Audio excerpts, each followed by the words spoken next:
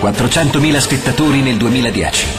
7 show indimenticabili. Tre continenti in gara. Torna dal 30 luglio al 28 agosto Fiori di Fuoco, il campionato mondiale di fuochi d'artificio. Dal Lago Maggiore al Lago d'Orta, fino alle incontaminate vallate dell'Ossola, le notti dell'estate si illuminano di luci e colori, proposti dalle migliori squadre mondiali. Scopri tutte le serate su www.distrittolaghi.it. Fiori di Fuoco, l'evento più pirotecnico dell'estate 2011.